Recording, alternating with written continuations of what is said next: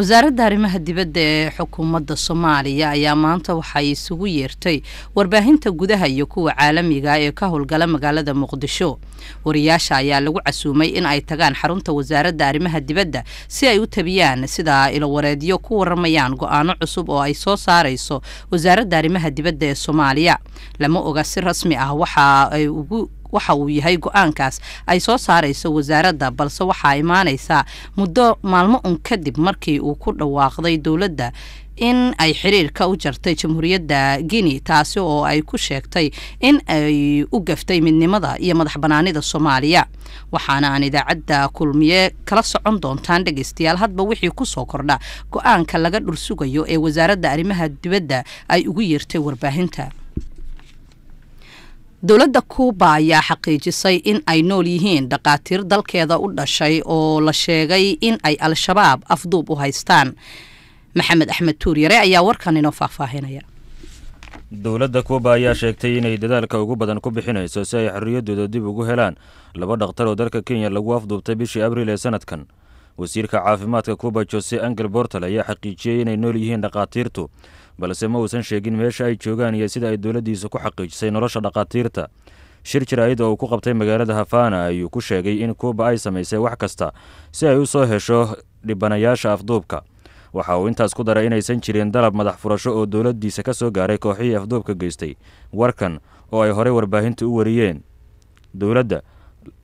dadaalada lagu xaqiijinayo in la soo daayo landi rodrigos iyo asel hareera ayaa waxa ay u baahan yihiin wakhti dheer iyo wada hadal sida uu sheegay wasiirka caafimaadka kuuba jose angel.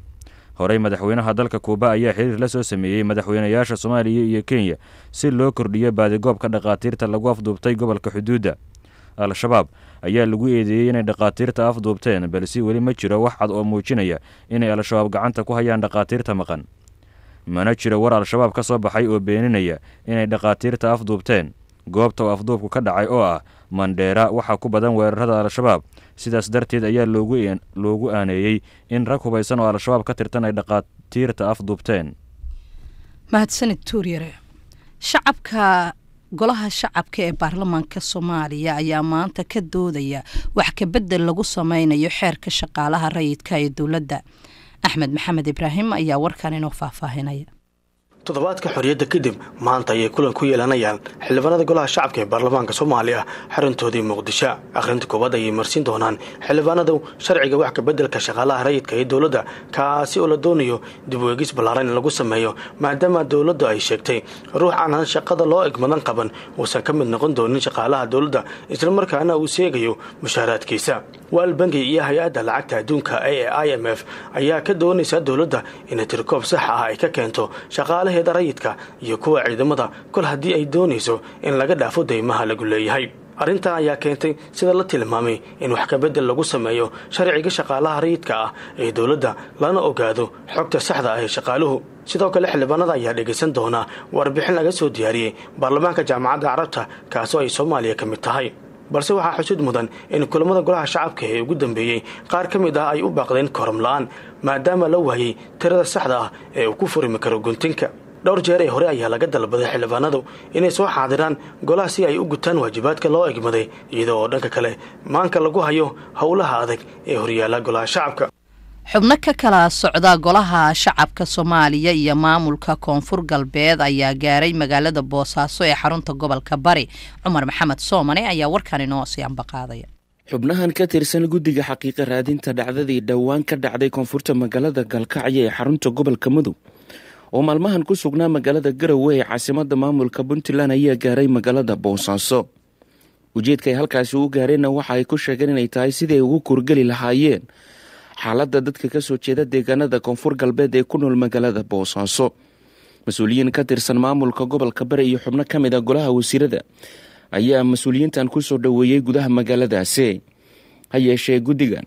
ayaa muddadii ay joogeen magaalada boosaaso waxay kulamo halkaasi kula yeesheen.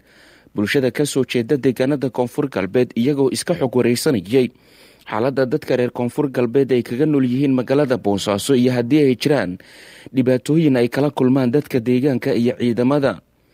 Qodobadii kale ee mas'uuliyiintan ay ka wada hadleen waxaa ka mid ahaa in si deg dega xabsiyada magaalada boosaaso looga soo daayo. Dadka ka soo jeeda deegaanada koonfur galbeed oo ku eedeysan dembiyo kala duwan dhanka kalena guddigan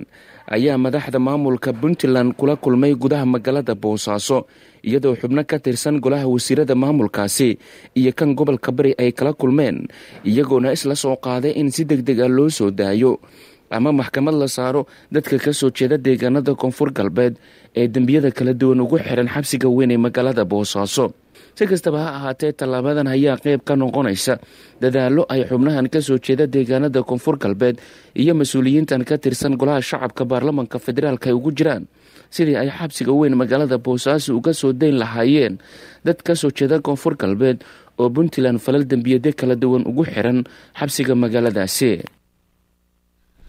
askartii ugu badneyd ee maamulkii ahlu sunna ayaa lagu wareejiyey dowladda federaalk ee soomaaliya iyadoona taliyaasha ciidamada ay deegaano kale tegayaan waxaanu arrimahaasi ka wareysanay maxamed cabdiweli tooxow cabdiqani waa mahadsan tahay magaalada dhuusamareeb ee caasimada galmudug. Markii ay u yimid taliyaha ciidamada xooga dalka soomaaliya daahir indha qarshe waxaa ka bilaabatay diiwaangelinta ciidamadii maamulka ahlu sunna waljamaaca maadaama ra'iisul wasaaraha soomaaliya xasan cali khayre uu isagu markaasi amar ku bixiyey in hay'adaha dowladda ee kala duwan ay yimaadaan magaaladani dhuusamareeb ee xarunta galmudug. Saddex boqol ayaa maalinkai ugu horreysay lagu wareejiyey taliyaha ciidamada xooga dalka soomaaliya ee dhaqarshe iyo saraakiishii la socotay ciidamadii ahlu sunna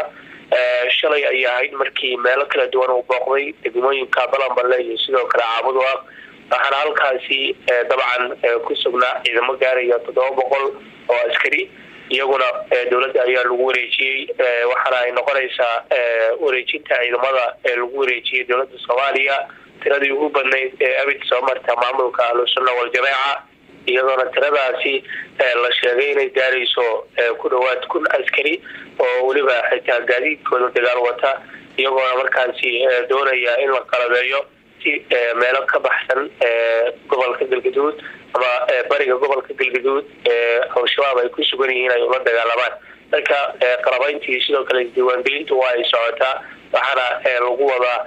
taliyaha iyo wafdi uu hogaaminayo in maalmaha soo socda ay gaari doonaan deegaanada huurshe iyo xaraale oo ay ku sugan yihiin ciidamo badan oo markaa ka tirsanaa maamulkii ahlusunna waljamaaca kaasi waxa uu ahaa waryaheena inooga soo waramo gobolka galgaduud maxamed cabdiweli tooxo oo qadka taleefonka inoogu waramaya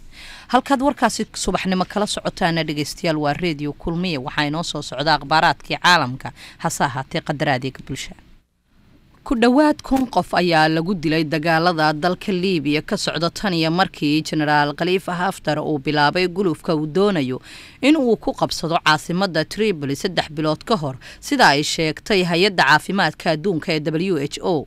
Tiradani oo lagu dhawaaqay jimcihii waxaa ku jiray lix boqol oo qof lixdan qof oo ah muhaajiriin xabsi ku jiray oo lagu dilay dagaal cirka ah oo lagu qaaday magaalada tajura ee duleedka triburo habeenkii talaadada. Ciidanka uu hogaamiyey jenaraal khaliifa haftar oo haysta bariga liibiya iyo qeybo ka mid a koonfurta ayaa bishii abriil ee sanadkan bilaabay. Dagaal ay doonayaan in ay ku majaraxaabiyaan dowladda caalamku aqoonsan yahay ee caasimada degan dagaalada dhinaca cirka ah iyo kuwa dhulka ah waxaa ku dhintay kun qof halka ay ku dhaawacmeen shan kun oo kale sida ay sheegtay hay'adda caafimaadka adduunka. Tirada dadka ay waxyeeladu gaartay hay'adda uma aysan kala saarin dad shacab ah iyo dagaalamayaal. Dalka iiraanna saraakiil ka tirsan dowladda iiraan ayaa ku goodiyey in ay la wareegi doonaan markab saliidda qaado oo ay leedahay dowladda britain haddii aan la sii dayn. Markab iiraan ay leedahay oo la xiray ciidanka badda boqortooyada ingiriiska ayaa caawiyey maamulka jasiiradda gibraltar in ay la wareegaan markab saliidda qaada oo ay leedahay dowladda iiraan kadib markii looga shakiyey in markabkaasi uu u socdo syriya oo uu doonayay in uu jabiyo cunaqabataynta midowda yurub. Maxkamad ku taala gibraltar ayaa xukuntay in markabka uu sii xirnaado afar iyo toban maalmood oo dheeri ah iiraan ayaa u yeertay safiirka britain ee jooga tahraan si ay uga cabato. Waxa dhacay oo ay ku sheegtay in ay tahay nooc burcadbadeednimo ah. Muxsen raazi oo ka mid ah golaha la taliya ayatullaahi khumeyni ayaa sheegay in dowladda iiraan ay falka britain ka jawaabi doonto walwal la'aan